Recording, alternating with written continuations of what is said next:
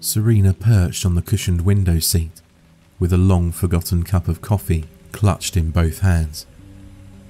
It was a grey day, one in a long string of grey days that went back weeks or months. Who could remember? She set the white cup on the spotless sill. Moments later, a ripple rolled across the surface of the coffee. It was chased by another, and another. She ground her teeth. The whole apartment building vibrated with the sounds of life. Doors slammed into frames. Music blasted into ears and boomed through bones. Children ran helter skelter. Outside, car horns blasted, traffic hummed, and trains clacked. Finding a moment of silence in Chicago was rare. It occurred only in the darkest hours of the night. And the fragile spell was easily broken by a hacking cough or a screaming baby. Serena tapped her fingers on the sill, adding to the ripples. She'd dwelled in the chaos of city life for most of her 50 years. She often imagined what it would be like to live alone somewhere so quiet she could hear her heartbeat, her breathing. Down the hall, a door slammed. A child yelled. Serena grabbed her coffee and gulped it.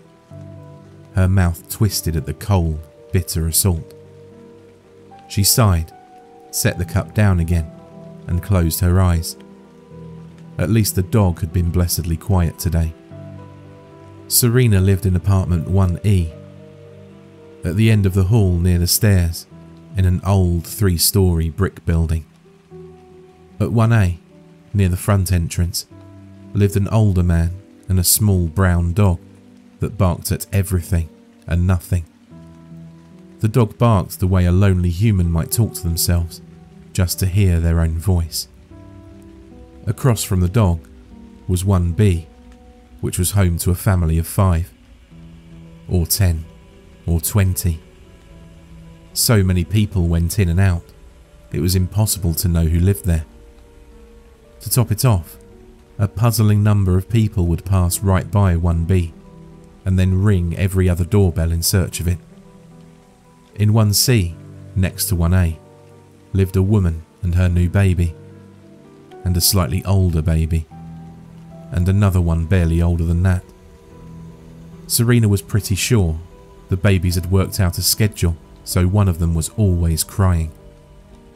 Across from 1C was 1D, home to three young men who each had different musical tastes. There wasn't a functioning pair of headphones among them. Above Serena was apartment 2E, which seemed to be occupied by an entire wrestling team plagued with insomnia. In actuality, two friendly elderly women lived there, each looking as though they couldn't weigh more than a hundred pounds. Yet somehow, they managed to set Serena's dining room lights swaying, day and night. The doorbell buzzed, jarring Serena from her reverie. She padded to the door and peered through the peephole. She didn't recognise the person. This isn't 1B, she said. The person mumbled something before heading away to ring someone else's bell. Serena took her cup to the sink. The doorbell buzzed. She jumped, dropping the cup. The handle snapped off and bounced into the disposal with a clink. The bell buzzed again. She slammed the cup on the granite counter. Her thin lips pulled tight. She stomped to the door and yelled, This isn't 1B, can't you read? A woman said, Um, hello? I'm looking for 1E. Serena frowned and squinted into the peephole. A 20 something woman stood with a child resting on her hip. Serena opened the door, pulled her cardigan closed, and crossed her arms. Can I help you? I'm from 1B. I really need a favour. The woman hefted the boy higher on her hip. Her clothes were rumpled. There were dark smudges under her eyes. She rubbed her ear. It looked an angry shade of red. Could you watch Bailey for an hour or two? Serena's eyebrows raised. The child, who she assumed was Bailey, looks to be about three years old. He was clutching a filthy grey stuffed rabbit in one hand while sucking the thumb of the other. His shirt and pants were a hodgepodge of stains of unknown origin. Serena's nose wrinkled. Try 1C, they've got kids. The woman stared at the ground. I know it's super weird, but I'm kinda desperate. Serena blinked several times. I can't watch your kid, she said as she pushed her door closed. Please, one hour. Something's not right. She rubbed her ear again and glanced down the hall. Before Serena could say anything else, the woman set the kid down before sprinting to the entryway and out the front door. Wait! Serena scrambled into the hall after her, but she tripped over Bailey, knocking him flat. Her arms pinwheeled as she teetered. She steadied and turned to the front door. The woman was gone. Bailey screwed up his face and howled with all of his might. It reverberated through the wood panelled hall. Serena winced, covering her ears. Okay, okay. God, you're loud. She picked him up and struggled to hold him at arm's length. He quieted reaching out to grasp her long black and grey hair with a sticky looking hand. She grimaced and held him further away. Her small frame tipped forward precariously. She leaned back, groaning. Bailey giggled and shoved his thumb in his mouth. She tottered over to 1B. Setting Bailey down with a grunt, she stabbed the doorbell with her finger when no one came, she held the button for 10 seconds, letting the shrill peal saturate the apartment. Still no answer. Her shoulders slumped. She grabbed Bailey and staggered back to 1E. Your mum has got one hour, then I'm calling the police, she said. Bailey blinked at her and tugged on his earlobe. Serena tried asking him if he was hungry or thirsty, but he only responded with a blank stare. She shook her head and stuck him on the rug in front of the TV. She dusted off the remote, located a cartoon channel, and noted the time. Settling into her favourite reading chair, she said, One hour. Two hours later, the woman hadn't returned. Serena set her jaw, marched over to 1B, and rang the bell. It trilled for half a second and died. Frowning, she pushed it again, but it didn't ring. She ground her teeth and banged on the door. Come get your kid already. A baby in 1C shrieked in response. She banged on the door twice more for good measure and stopped, her fist resting on the dark wood. Her eyes narrowed. With all the racket she was making, the scruffy dog in 1A was showing too much restraint. She rang 1A's bell. No answer. Serena leaned her ear against the cold door and held her breath. There were no sounds of life, not even the hum of a refrigerator. She sighed and returned to her apartment. Bailey was still sitting in front of the TV, where she'd left him. Both hands pressed over his ears. She called the police. A while later, a young officer and a harried looking woman from CPS arrived to collect Bailey. Serena answered their questions as best she could. When they left, she said, I think he's got an ear infection. He keeps messing with his ears. That night, she slept better than she had in years. When her alarm chimed at 7am, she pulled out her earplugs and lay in bed for a while, her forehead wrinkled. Finally, she sat up with wide eyes. It's quiet, she breathed. Apartment 1A and 1B hadn't been themselves. The scruffy dog hadn't barked in days, and if anyone had gone in or out of 1B, they'd done it quite discreetly. She closed her eyes. A smile crept across her face. Music pulsed through the floor and walls and into her ear canals. Her eardrums vibrated. Her smile slipped. Metal and samba with a sprinkling of Beethoven, she said. Something heavy collided with the floor upstairs. She ground her teeth. I guess it's too much to ask for everyone to be quiet. A glance at the clock told her it was 7.15 she dashed to the bathroom to get ready for work. Weekends at the library were usually bustling, but that Saturday passed like molasses, with only two people coming in. When she arrived home, she knocked at 1B. Still no answer. She tried 1A. Their bell didn't work, and no one answered her knocking, not even the dog. She grabbed her mail from the box and made a mental note to tell the super to check the entryway. It smelled dank and earthy. Probably a leak somewhere, she thought with a frown. Two babies cried in unison as she passed 1C. She rolled her eyes and stuck out her tongue at them. Once her front door clicked shut behind her, she went through her evening routine and climbed into bed. As she lay there, her breath caught in her throat. There was nothing.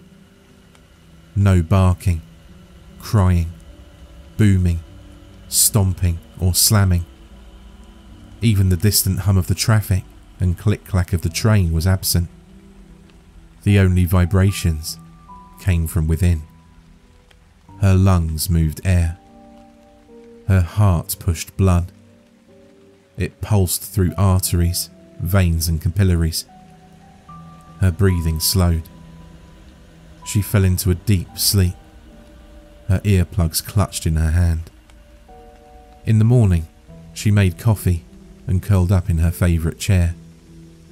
She'd planned to spend her day off making a dent in her ever growing pile of books to read. After an hour, though, she hadn't made it beyond page one of book one. Her inner voice had said each word loud and clear, but not one had been absorbed. Serena finished her coffee. Her stomach gurgled. The refrigerator hummed. She cleared her throat. The radiator hissed and clicked.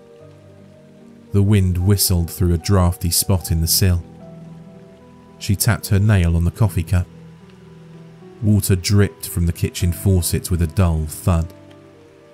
She slammed her book closed and stood with a huff. Everywhere she looked, something in her usually tidy apartment mocked her with imagined layers of dust. Serena spent the rest of the day furiously scrubbing everything while muttering under her breath. Exhausted, she collapsed into bed with a book, but she found herself staring at the same page again the words still refusing to have meaning. Her fingertips rasped against the pages. She rustled the sheets. Her stomach groaned. Turning off the light with a click, she stared at the ceiling. In the back of her mind, Serena realised that 1D had been quiet all day. Probably a coincidence, she whispered. In the complete absence of sound, her brain tried to make sense of the nothingness. She heard snatches of music she was certain weren't there. She sighed. The music was replaced with someone speaking garbled words. She turned onto her side and clutched a pillow to her chest. Her bed creaked under her. The garbled words were swapped out with indistinct whispering. It grew louder surrounding her. Serena snatched her earplugs off the nightstand and stuffed them into her ears. She drifted to sleep listening to her steady breathing. On Monday morning, Serena awoke with a start. She glanced at the clock. Eight. She rubbed her gritty eyes and stumbled out of bed, struggling to clear the wool from her brain. The same vivid dream had run amuck in her head all night.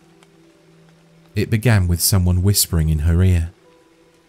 Then, the whispering grew more strident until it was whisper shouting that echoed in her head. She'd start awake, fall back asleep, and the dream would repeat. The whole thing dredged up long forgotten memories of childhood fever dreams. Fifteen minutes later, she hurried out the entrance and down the stoop. When she reached the sidewalk, she skidded to a halt. Her brow furrowed. Every Sunday night, the cars parked along her street would all vanish like clockwork in time for the Monday morning street cleaning. This morning, however, all the cars were still there and no one was in sight. Her hand tightened around the strap of her bag. She listened. The omnipresent hums, clacks, screeches, or beeps of planes, trains, buses, and cars were gone. Not even a breath of wind stirred the branches of the bare trees. Heavy silence pushed down on Serena from all sides. She could barely breathe. Taking a step back, she pulled her phone from her bag with a shaky hand and called work. It rang many times before going to voicemail. She tried her sister in the suburbs. Voicemail. She hesitated a moment and tried the police. It rang and rang. Movement caught her eye. There was something on top of the building across the street. She squinted. It looked like a tree, a tall trunk with branches, except it was swaying in the still air. Her mouth fell open. Serena looked up and down the street. Every building had a swaying tree on their roof. Their undulations made the hairs on the back of her neck stand on end. Her hand lowered from her ear. The phone slipped from her numb fingers and clattered on the concrete. The noise ripped through the silence like an explosion. The trees froze and then quivered. One by one, they leaned towards her, their branches reaching out. She turned and ran back inside the building, slamming the front door. Her bag slipped to the ground unnoticed. Her legs trembled as she leaned against the mailboxes, panting. The door to 1B was open a crack. She dashed inside, screaming, Please help me. There wasn't anyone there. She ran to the open bedroom door. Light filtered in through thin, ratty curtains. In the double bed, a stained blue comforter covered two bulges, one smaller than the other. Hello? Serena said. The bulges didn't stir. A whiff of freshly churned soil invaded her nostrils. An ice cold lump made itself at home in her stomach. Her body no longer felt like it was hers. Serena approached the bed, her feet moving on their own. Her arm lifted. Her fingers grasped the edge of the comforter. Her mind registered how stiff with dirt it was. No, don't. Her hand tugged. The comforter pulled back. The stench of wet earth and decay hit Serena in a wave. She clamped her hand over her nose and mouth as she gagged. In the bed lay two twisted, muddy piles of what looked like sickly green tree roots. Something stuck out of a gap in the roots of the smaller pile. Serena held her breath and leaned closer. The ears of a stuffed rabbit were held tight in a small, pale fist. She turned her head away. Unblinking eyes stared at her from inside the other pile. A white maggot squirmed across a milky pupil. Serena shrieked. Spinning around, she staggered back to the hallway. She fell against the wall, her legs threatening to give out and dump her in a heap. She gasped for air. Reasonable thoughts danced out of reach. Where did everyone go? she said. Something creaked above her. Her eyes opened wide and her head swiveled towards the staircase. Hello? she called out. Serena listened for a minute before her feet turned of their own volition and climbed the old groaning stairs one by one. On the second floor, all of the apartment doors stood ajar. Everything was quiet. She turned to 2E and slowly pushed open the door, wincing when it squeaked. Miss Corbin? Miss Gallo?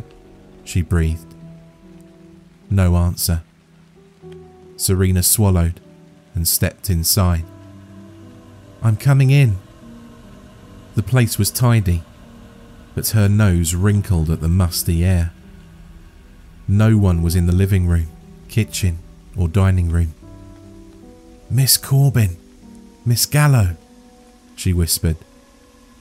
She tiptoed through the dark, narrow hallway to the bedrooms.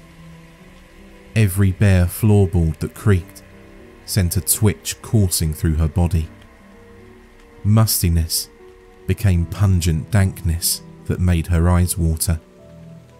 She covered her nose with her coat sleeve. The bedroom door to the left was open. The room didn't look lived in. She turned to the other door. It was closed. She knocked. Silence. Blood thundered in her ears. She twisted the cold brass knob and slowly pushed the door open. Darkness. Thick drapes covered the windows. Serena felt along the wall until she found a switch. A lamp clicked on. She flinched. Both women lay in bed, arms wrapped around one another. Neither one moved. No, no, this isn't happening. Tears pricked her eyes. Her feet took her closer. Their faces were pale, with a blue tinge, their eyes closed tight. They seemed to be wearing crowns woven out of bare vines. Thin white filaments came from the vines and intertwined over the women's ears like lace. Serena shuddered. Again, her body moved on its own, and she stepped closer. Vines trailed from the crowns to a large hole in the wall above the headboard. Taking another step, her foot found a discarded shoe. She slipped and almost toppled into the bed. Flinging out her arms to catch herself, she knocked Miss Corbin's crown off her head. A long, thick filament fell out of Miss Corbin's ear canal onto the bed. It writhed and lifted itself like a cobra, as if it was staring at Serena. She froze. It swayed slowly, like the strange trees. She swallowed hard and took a step back. The filament twitched, lowered itself, and slithered towards her. She screamed and fell back against the door. It slammed into the wall with a deafening bang. A shiver coursed through the vines. They poured out of the hole in the wall in a slithering mass. Filaments slid into the dead woman's noses, eyes, and mouths. Vines twisted around the bodies until they were enveloped in squirming, green brown cocoons. The stench of decay reached a crescendo. Burning hot bile climbed Serena's throat. She stumbled out of the apartment. Collapsing near the stairs, she vomited her scant breakfast of coffee and toast. Rasping came from behind her. She looked down the stairs and bit her lip to hold back a scream. A muddy mass of vines was slithering up. She clutched the railing and climbed to the third floor, glancing over her shoulder every other step. At the landing, she found the door to every apartment wide open. It was silent. The smell of rot was stifling in the still air. Saliva flooded her mouth as her empty stomach heaved. Serena whimpered and slumped against the wall. Her breaths were coming too fast. Her vision greyed and narrowed. Her legs gave out. She slid to the floor.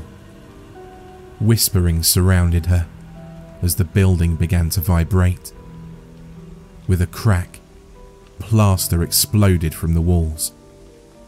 Vines surged out. They twisted around her head and slammed it against the wall so hard she saw silver spots.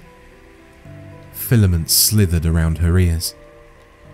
Screaming, she ripped off the squirming vines and scrambled away on hands and knees. Her eyes fell on the metal ladder and hatch leading to the roof. The hatch was ajar. Serena stood and lurched down the hall. With clammy hands, she gripped the metal rungs and climbed. She pushed open the hatch and pulled herself onto the roof. Blinking in the brilliant sunlight, her body went cold. Twenty feet away stood one of the swaying trees. It was as tall as a normal tree, but it moved like it was listening to music. The trunk was pale and shiny, with crisscrossing, pulsing dark lines, making it look like tightly stretched skin, full of varicose veins. Bare vines, ending in thin white filaments, spilled over from the branches and hung low to the ground. Gnarled roots, splotched with patches of sickly green moss and stinking brown mud, fanned out across the roof. Their tips burrowed deep, infiltrating the building. Only one thought was able to break the surface of her frozen mind. If she squinted, the tree would look like any one of the weeping willows dotting the lakefront, their lithe, harmless branches waving in the breeze. She fell to her knees and sobbed. The tree quivered. Its trunk leaned over, lowering its vines to the ground. They slithered towards her with lightning fast speed. Her mind screamed at her body to get up and run. Her limbs wouldn't listen. Vines wrapped tight around her head and body. Filaments slid deep into her ear canals. A strangled cry escaped her mouth. Her bladder let go. She heard her breath coming out in ragged puffs, her heart pounding in her chest, her blood rushing through veins and arteries. Those sounds dimmed, and other ear splitting noises took their place. Her scalp rasping over her skull, her eyes blinking, her neurons firing. Soon, those sounds faded too, until all that remained were the deafening collisions of air molecules. Serena's body fell silently to the ground as the sound eaters drained the last vibrations from the world.